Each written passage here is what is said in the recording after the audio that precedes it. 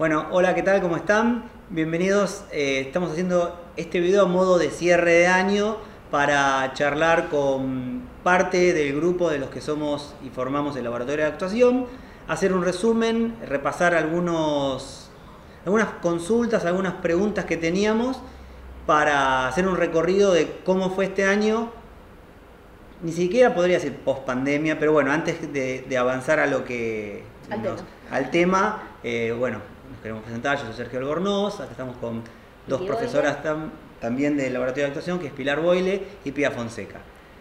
So, eh, lo que nos juntaba, como decíamos, era un recorrido de este 2021, que casi viene mixeado con el 2020 en muchos sentidos, desde que se salió de la virtualidad al retorno poco a poco a la presencialidad, y que, que nos deja para hablar y tratar de reflexionar en este cierre de año que nos salieron varios puntos para charlar sobre eso. Así que, bueno, en principio una de las primeras cosas que, que pusimos y marcamos para poder charlar es el, el, retorno paso a paso a la presencialidad y qué trajo con eso, ¿no? Sí, aparte teniendo en cuenta de que el año... Eh, paso a paso a la presencialidad arrancó más o menos a fines de agosto. Sí, sí, sí. Agosto. Mayo, sí. con muy, muy poquitas cosas. O sea, fue agosto, septiembre, octubre, noviembre. Tres meses, que parece que pasó un año, pero son tres o cuatro meses. Sí. Claro, ahí estamos hablando de la full presencialidad. Claro. Por decirlo, ¿no? Qué, qué interesante porque uno piensa, uno dice eso, pero hay algo del retorno, por ejemplo, en lo que nos corresponde a nosotros y a nosotras en, los talleres fue que desde fines del 2020, más que nada ponerle en diciembre, si no me equivoco, empezamos a abrir puertas al número reducido por protocolo de estudiantes que podíamos tener en nuestro espacio. Sí, que fue, digamos, lo que sería la etapa de verano, que hubo una cierta flexibilidad, ya con una población bastante vacunada, que era la población adulta. Después, a principio de lo que fue marzo y todo eso, hubo un cierre de nuevo y, más o menos para mayo y ya full presencialidad fue agosto. Que implicó toda una adaptación de los materiales a, investigar. Sí, y, la modalidad. La modalidad y a ver, eh, bueno, estar transitando las consecuencias de, de estos nuevos cuerpos sobreadaptados a la cruda realidad que estamos viviendo. Eh, que para mí eso es eh, de lo más grave que tenemos para hacer el balance. Me, parece eh, tremendo la palabra que sí, sobre adaptados. Y es verdad, porque somos un bicho de costumbre y creo que algo de la virtualidad, si bien nosotros encontramos en, en otras charlas que hicimos cosas que eran súper importantes, algo de lo que vos decís de la sobreadaptación es, se transformó en una costumbre en empezar a no ponerle el cuerpo a ciertos entrenamientos y en no ponerle el cuerpo a ciertos materiales, que en, un principio nos pasaba, mm. que era, bueno, no le ponemos el cuerpo al entrenamiento porque hay que mantener todavía la distancia social, no le ponemos el cuerpo a ciertas escenas, entonces, bueno, eh, afrontamos monólogos, pero... o mismo no ponerle el cuerpo, ni la cabeza, ni el tiempo, ni la dedicación al compañero o compañera con la que te mm. toca. Como que atravesamos muchos materiales en donde era muy difícil que entre estudiantes, alumnos, eh, puedan comunicarse previamente a hacer una escena juntos. Bueno, como hablábamos de no meter, o sea, la falta de ponerle cuerpo no solo a, los ejercicios o a los espacios, sino también con los compañeros, como que había una dificultad muy grande en que haya comunicación entre ellos para poder abordar la investigación, la escena, venir a clase, con sí, ensayar por fuera de, del horario de clase, por ejemplo. Sí, o de repente em, no comunicarse ante una eh, falta. Entonces, vos decís, ¿cómo, sé si, cómo no sabes que tu compañero hoy no viene? Como... Sí. sí, como una especie de em, compromiso licuado. sí. Em, que también me parece que esto es como un acelere de un proceso que ya venía pasando. no porque por traer el pasado, pero bueno, en un punto comparamos con lo que tenemos más a mano de nuestras vidas y sí tengo la sensación o la percepción de que mm, se fue desvirtuando eh, un poco todo lo que es como las creencias en relación a qué es actuar y ponerle el cuerpo a un, rol o, a un entrenamiento o, a una clase. Em, hay algo de que, o por lo menos en, mi punto de vista, tomar una clase o entrenar o, o, hacer una obra de teatro o hacer una peli es per se. No hay em, una finalidad posterior, más allá de que todo nos nutre y nos da herramientas. Y yo creo que eso es algo que ya no existe casi.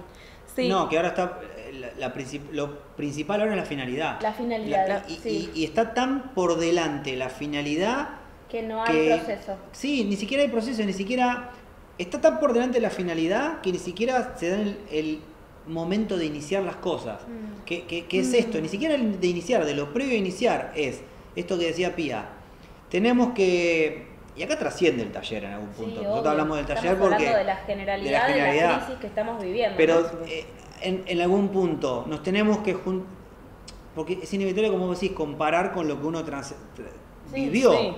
Digo, teníamos que preparar una escena, había un tiempo de ensayo que teníamos que tener, por, pero no porque era X cosa, sino porque era necesario ese tiempo de ensayo para ver qué pasaba cuando tenías el momento de la clase para que te queden muchas más cosas, porque si vos no le dedicás el tiempo necesario al material, no le dedicás el tiempo necesario a ponerle el cuerpo y experimentar con un compañero o una compañera, después es muy a la ruleta, a la ruleta rusa ver qué pasa en el momento. Sí, eh, también como que hay algo de... Eh, ese como compromiso licuado que recién decías, de tampoco entender eh, este, este proceso, estas investigaciones, desde un lado más serio, porque por lo menos yo puedo hablar de mi experiencia, las investigaciones en las obras que terminé actuando o algo, partieron de investigaciones en donde hubo unión entre, entre los cursantes y se empezó a profundizar en algo y dijimos, acá hay algo bueno para mm. seguir y continuar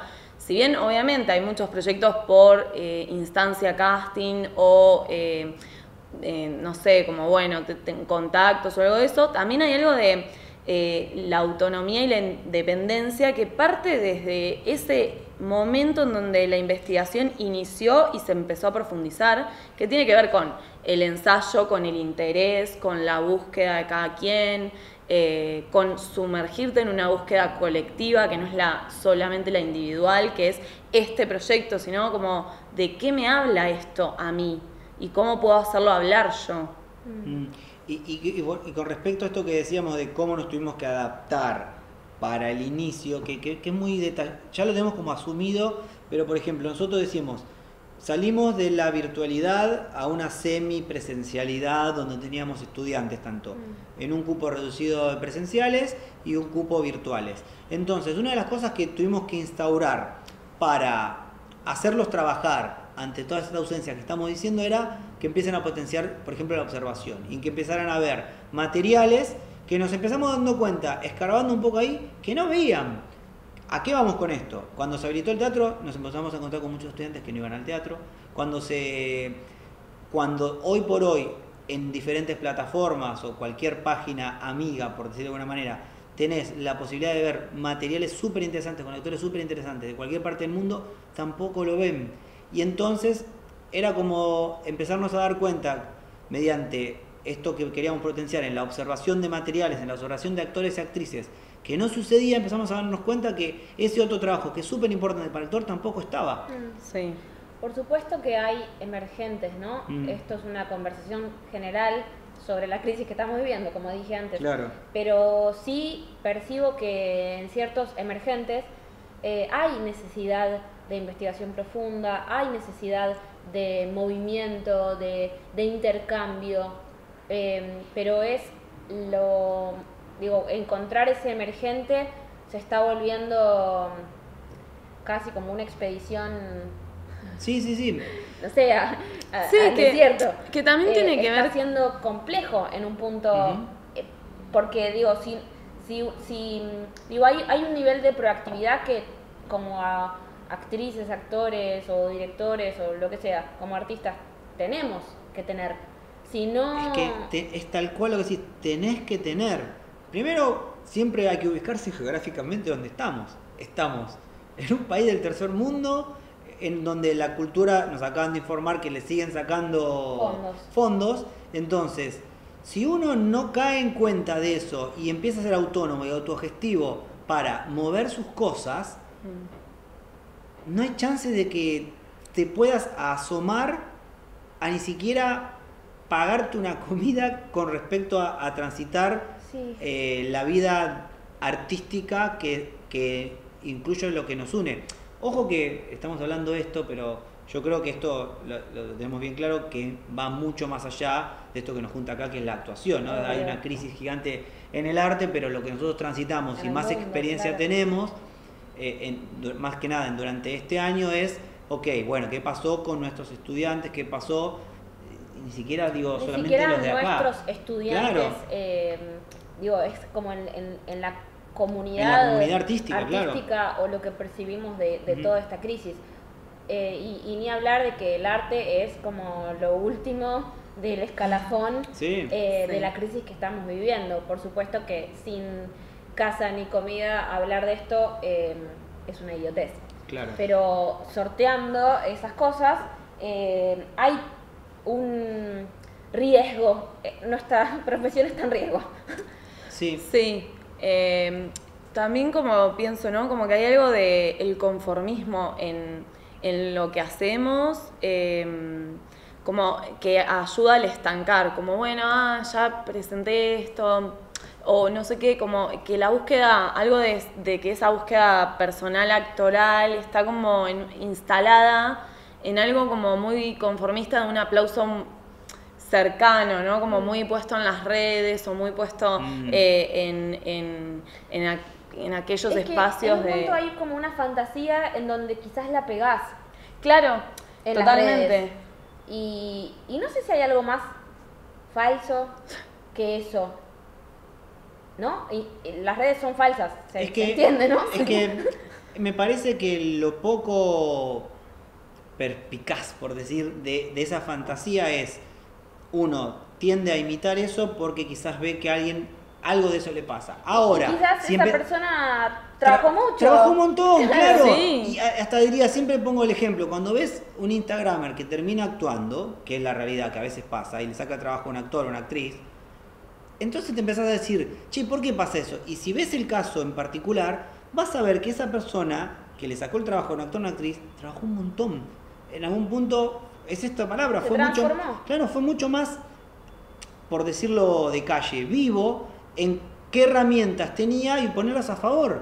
Digo, y, a su vez siempre atrás de eso hay un montón de trabajo. El tema es que como a veces ese trabajo es intangible, uno no llega a darse cuenta y cree que, bueno, hago esto y ya este video me queda y lo subo y algo va a pasar. Mm. Cuando mm. no estás viendo que quizás necesitas un montón de trabajo para que algo suceda. Total, y perdón, eh, que hay algo de ese trabajo también que es eh, personal y ahí es donde aparece el proceso, porque también pasa, o percibo que pasa, una cierta como demanda de...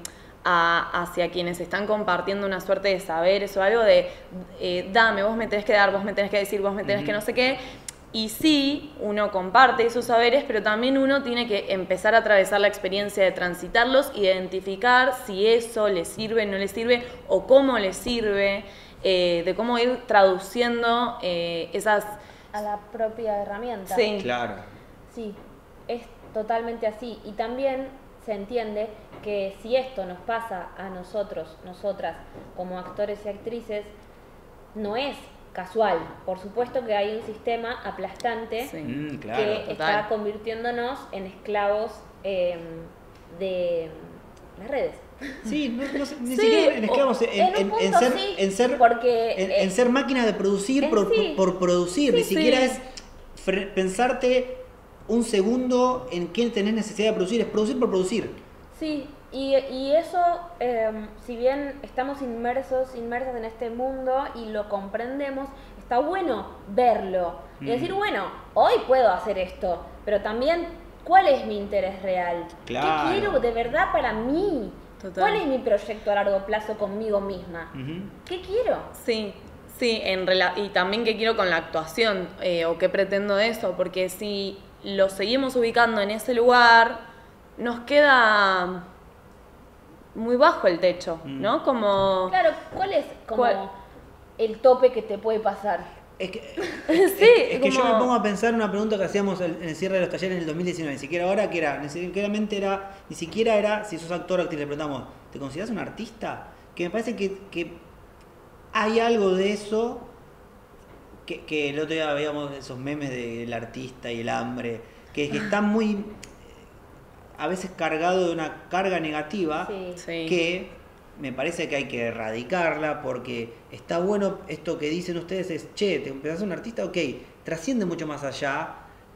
Entonces, en algún punto te empieza a aparecer la pregunta, ¿para qué hago lo que hago? Y eso te pone en movimiento. Y después, ese, ese movimiento puede decaer en una particularidad que vos tengas al hacer un material, en una particularidad que vos tengas al juntarte con un grupo y que es, ahora por otro lado, si vos lo único que haces es producir por producir, eh, te volvés uno, uno más de todo lo mismo que hay, sin darte cuenta.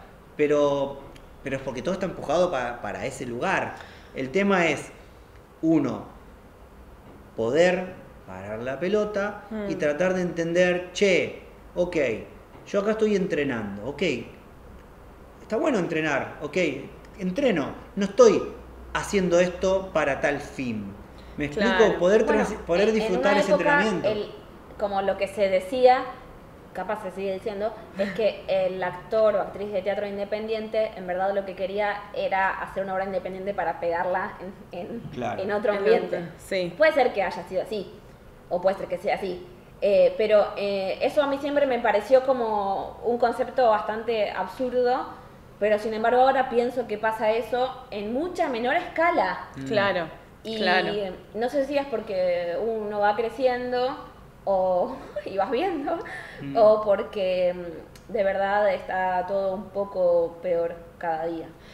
Sí, em, hay algo de lo de, de, esto de lo que hablaba Ser, ¿no? Como no sé, como durante el año, ¿no? Eh, fuimos proponiendo diferentes cosas que tenían que ver con que cada estudiante buscara autonomía e independencia en la propia producción, ¿no? Eh, y también había un momento de cumplir con la tarea.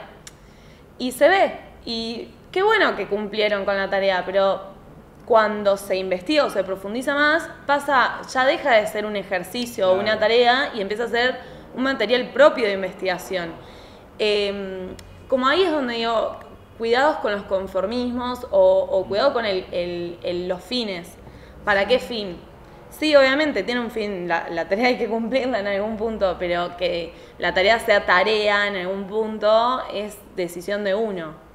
Sí, también. Y, para nada esto es como mm, algo negativo en relación a, al trabajo que se hace o se hizo, ni lo que recibimos, ni lo que devolvimos, ni, ni del intercambio es solo una reflexión en torno a qué hace nuestra profesión en la sociedad, mm. porque no somos islas que caminan por la calle, ¿no? O sea, cada acción tiene una consecuencia. Sí, ni, tampoco somos esqueletos con músculos que tienen que salir bien en cámara, porque eso es tremendo, porque ahí es donde yo digo que trasciende nosotros estamos hablando quizás en algún punto de muchas experiencias que tuvimos acá, pero pudimos viajar dando talleres en Córdoba, en Tandil, y lo mismo se replicaba. Es tremendo porque cuando uno trata de, decirle o infundirle a alguien, che, mirá, trata de investigar qué te puede servir, trata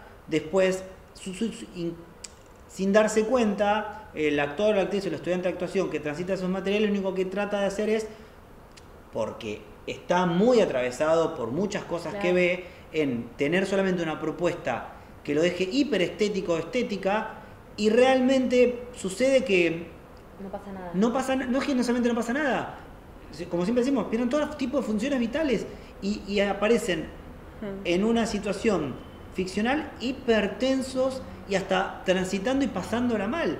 Cuando uno eh, le le trata de decir, no pasa nada, mm. no es tan, en algún punto siempre tratamos de traer las cosas para decir, no es tan importante. Ahora, si bien no es tan importante, sí está bueno que vos puedas entender por qué te pasa esto. Y una de las cosas que las cuales les pasa esto es porque está muy por delante todo lo que tenga que ver con lo estético, todo lo que tenga que ver con la imagen y cómo mi imagen impacta en una cámara o cómo mi imagen impacta en redes versus de poder sentarme acá y estar respirando mientras digo lo que digo. Y aparte, no es eh, una recriminación. Esto es todo lo que absorbemos de lo que nos devuelve el mundo. No es que, ah, mm. ay, te importa tu imagen. No, esto es, mirá más allá de lo que recibís. Sería apagar los eh, dispositivos, mm. todos, y sentarte a escribir qué quieres hacer. Tal cual. Eh, sí. A mano. Tal cual. es que es tremendo, sí. Pero lo interesante es que todo este tipo de cosas nos dejan y estamos acá a modo de reflexión, ¿no? Porque uno cuando reflexiona empieza a encontrar nuevos caminos por donde desandar las cosas. Por mm. ejemplo, a medida que fue avanzando el año, hay algo de que poco a poco se pudieron eh, eh, introducir algunos entrenamientos de los cuales hacíamos en el pre-pandemia. Y fue interesante porque ver muchos cuerpos eh, de todas las edades, lo estáticos que estaban y, lo que nos acomodó la pandemia, ¿no? De, de cómo activarlo. Eh, una sorpresa extraña, negativa para mi forma de ver, en el rechazo al movimiento. Mm. Em, en un rechazo eh, casi agresivo al movimiento sobre todo con, con quien daba la clase, pero ah. como la sensación de decir, che, no, no quiero hacer esto, porque ¿qué tiene que ver eh, activar el centro desde un ejercicio netamente físico a verme bien en cámara? Claro. Sí, claro. Ahí hay una distancia em, que a mi forma de ver es un precipicio con la realidad. Mm, sí. Es decir, te la vas a dar. La cara se acaba en un momento se acaba. Claro, claro, claro. Claro, claro. Y a la vez, como mm, en contrapartida, ¿no? También descubrir em, que hay materiales o que cuando los materiales empiezan a profundizar, em, que se pone todo el trabajo desde otro lado, como que de repente un material, eh, un grupo lo abrazó como tema de investigación y era ir a fondo, ir a ir a fondo y cada vez más y cada vez más convocante. Entonces decir, bueno, hay a veces la tarea de cómo hago que este material me convoque mm. y a la vez también qué eh, potencia tiene cuando un material me convoca y yo me sumerjo a esa investigación que eh, me genera un montón de otras acciones, como juntarme a ensayar, como traer vestuario, como estar pensando en la semana, como venir y poner el cuerpo y decir, ah, este cuerpo que estoy poniendo me está sirviendo para transitar esta escena, mm. entonces tengo que trabajar por fuera que la lástima es porque para llegar a, a ese momento pasa tanto tiempo en torno a resistencias que se van presentando, mm. eh, que tienen que ver con eh, cosas por fuera de lo que se trabaja en, la clase, digo, resistencias que estudiantes eh, van poniendo a propuestas muy simples y que hacen que uno, que es un poco igual la tarea, eh, de ir, bueno, por dónde vamos entrando hasta que llegue. Digo, ¿por qué llegó a fin del de, curso anual? También hay algo que no podemos evadir, que es que, bueno, no tanto vos, pero un poco sí, eh, nosotros somos de una generación que nacieron sin celular. Claro. Claro, sí. Y en un punto yo pienso que mm, me imagino que si a mí misma el celular me absorbe tanto, mm. imagínate a un niño o una niña que nace en un mundo que ya es así. Es muy difícil para un niño pensar en ir a trepar un árbol y a jugar en la arena sucia de la plaza mm. si estás con la realidad virtual del celular, que, que está buenísimo. Eh, entonces, eso también hace efectos y quizás también estamos hablando un poco de esta generación.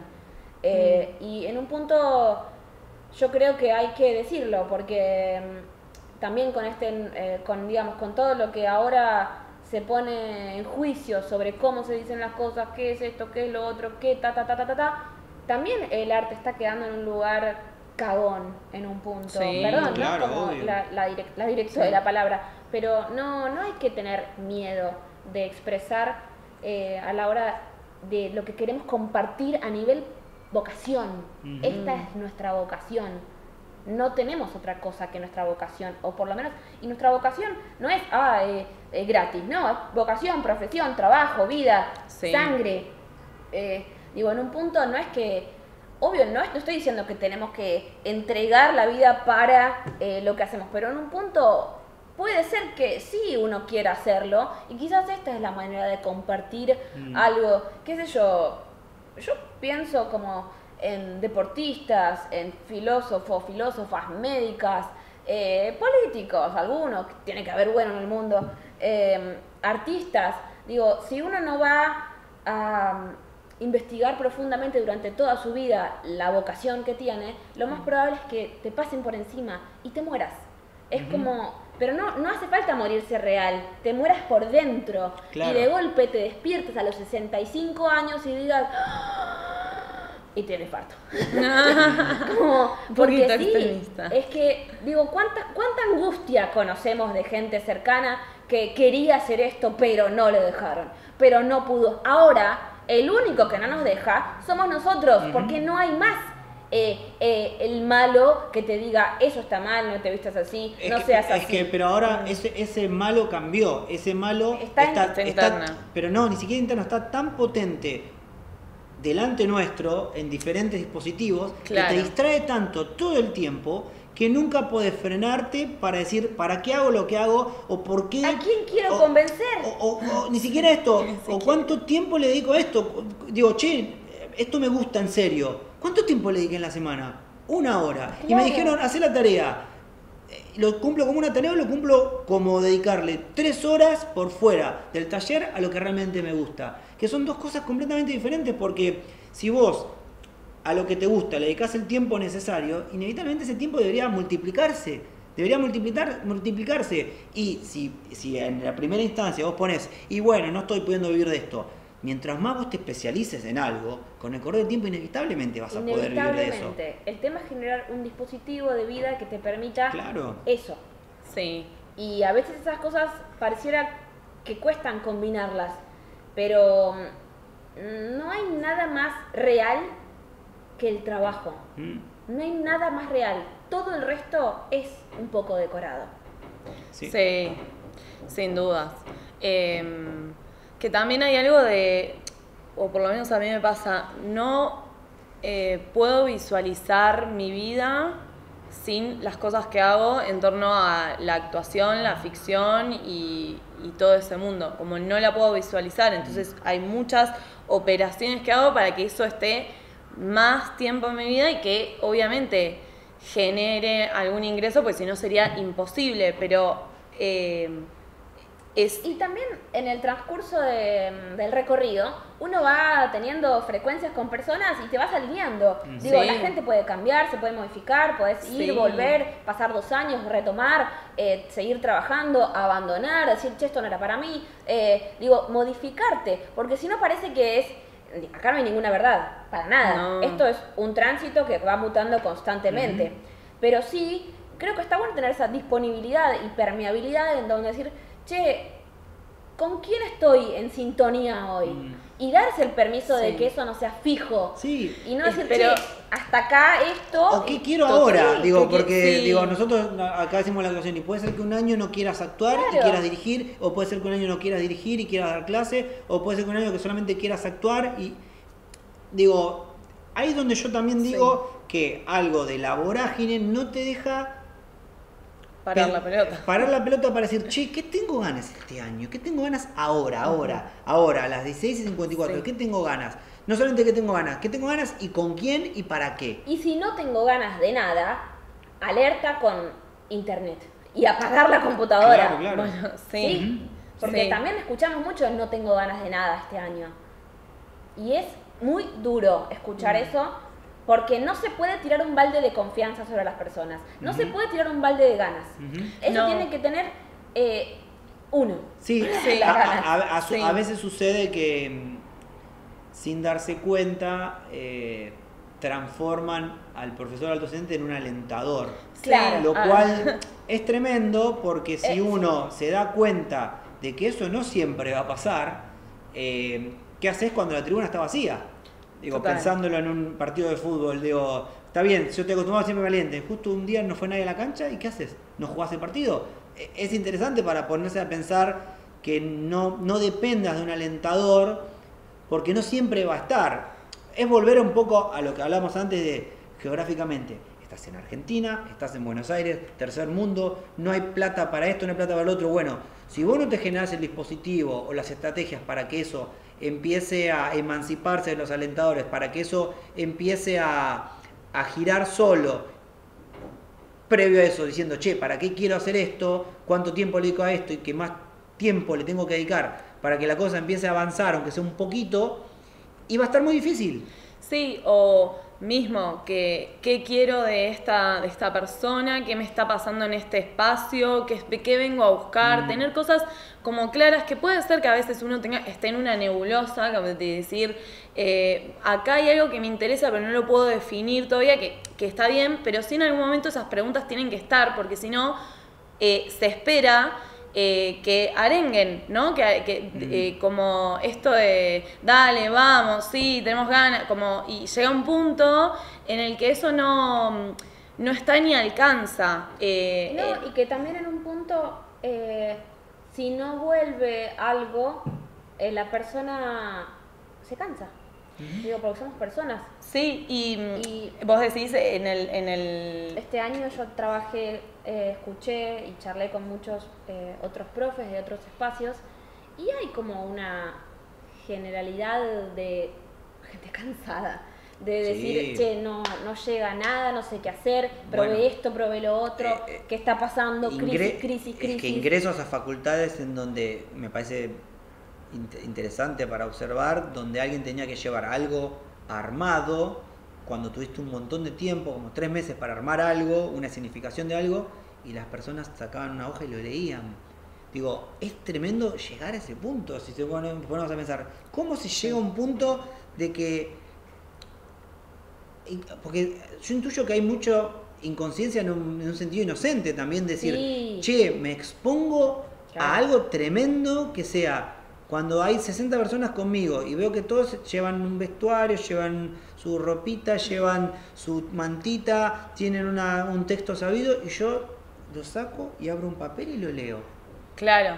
Es como... En contrapartida, eso como espacio nos hizo pensar un poco cómo vamos a trabajar los talleres el año que viene. Claro. Eh, eh, totalmente. Esto como en un lugar igual de positivo que igual de negativo. Sí, claro. Eh, porque, digo, tenemos que adaptarnos, modificarnos, transformar nuestra forma de pensar para poder integrar eh, lo que está sucediendo y tratar de abarcar un poco mejor las necesidades de cada estudiante.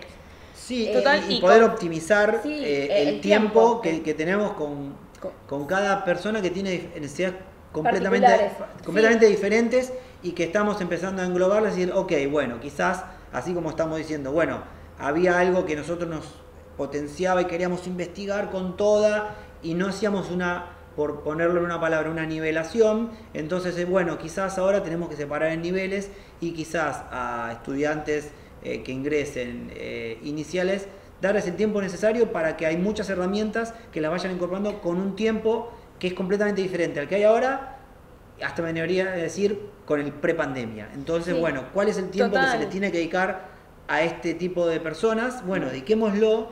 Entonces, en, un punto tomamos una implementación de niveles. En, el espacio siempre trabajábamos con cursos mezclados eh, de todas las experiencias, porque niveles es una palabra fuerte también, pero experiencias, más o menos experiencia. Eh, y nos interesa mucho ese cruce porque alguien con mucha experiencia... Ay, ay, el otro día fui a hacer un curso con caballos y el profe eh, nos dijo, a jinete viejo, caballo nuevo, a jinete nuevo, caballo viejo. Claro. Porque, ¿no? Hay algo que se cruza, claro. se crece. Eh, y esto es así, es igual. Sí, sí. Es igual. Pero igual, como también eh, desde el otro punto de vista, también confiar en que eh, el sostén de una determinada cantidad de alumnos durante los diferentes talleres fue generando un crecimiento que hoy lo distancia de quienes llegan. Entonces, en todo espacio eh, se necesita un código común eh, de vocabulario, código común de, trabajo y que ese piso está sólido y que hace que crezca, también hace que hoy tengamos que dedicarle otro tiempo para que ese piso siga estando y siga creciendo. Sí, y que eventualmente se logrará un intercambio entre todos eh, esos estudiantes. Total, y que hay algo del el trabajo eh, que es colectivo, pero que se empieza a focalizar en cada, en cada quien, que en el último tiempo empezó a, particularizarse incluso. Eh, de sí, trabajamos todos juntos por esto, pero en puntual acá hay algo del cuerpo, acá hay algo de la letra, acá hay mm. algo de las eh, resistencias, que lo pueden trabajar en grupal, pero también en lo personal, y que requiere de un piso común, entonces entender también todas esas instancias como un diálogo de, Sí, en un punto también desde este lado es parar la pelota, escuchar claro. lo que recibimos, reflexionar y repensar el espacio, la formación, qué queremos con esta formación, eh, tener nuestras propias crisis internas con, sí, sí, sí, obvio. la formación. Pero, creo que hay algo de esto que decimos que también este, este, esta modalidad que estamos haciendo ahora, decir, che, bueno, ok, ¿De qué hablamos? Bueno, ¿qué, ¿cuál es el balance de año? Y hay que hacer una reflexión. ¿Por qué? Venimos de un tránsito, algo que no nos pasó a ninguno en nuestras vidas, como ser una pandemia. Ok, ¿qué consecuencias trajo eso? Y las empezamos a absorber a lo largo del año, porque uno quería venir con todo un bagaje de cosas pre-pandemia y te diste cuenta que hasta ni siquiera tu cuerpo estaba en las condiciones para implementar eso que pasaba pre-pandemia. Entonces, bueno, ok, de a poquito, ¿qué empezamos a, ver? Y bueno, cuando la cosa se hizo semi-virtual empezamos a implementar, bueno, vean estas cosas que también están entrenando, no ven. Ah, de repente estamos dando cuenta que no solamente no estás transitando experiencias con tu cuerpo, sino tampoco estás viendo algo que te guste para que te genere preguntas para darle a esas experiencias con tu cuerpo. Entonces, mm. bueno, hay que atacar acá, hay que atacar acá.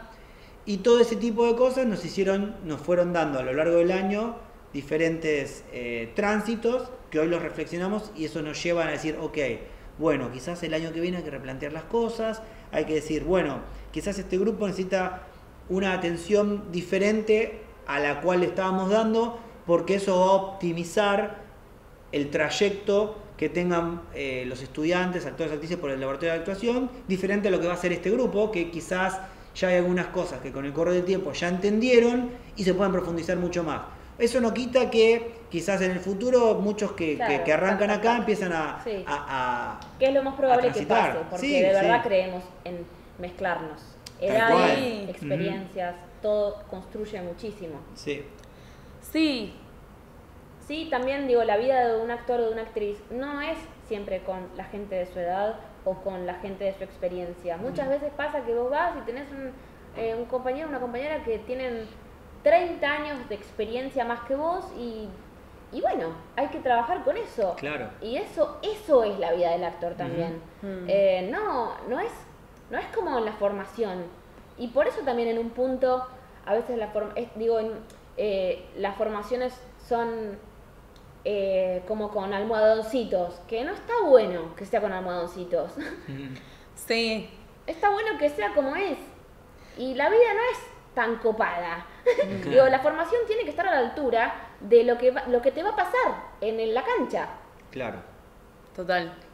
Yo tenía un adolescente que, que te, a fin de año te decía, y los espero en los escenarios, como, como diciendo que hay algo obvio de que seguramente en, cualquier proyecto te, toque trabajar con cualquier persona. Y uno tiene que estar eh, sólido para afrontar eso, eh, confiando en sí mismo también. Así que, bueno, ese fue un poco las reflexiones y, creo que teníamos ganas de charlar algunas cosas que transitamos durante el año, muy con una gran carga de ganas para lo que se está armando ahora para enero y lo que se está armando para para cuando arranque otra vez el año que viene, con grupos que siguen, con grupos nuevos que se van a armar. Y, bueno, así que eso era un poquito una reflexión, un cierre de, año que podemos hacer desde esta modalidad de video del laboratorio del, laboratorio de actuación. Así que, gracias.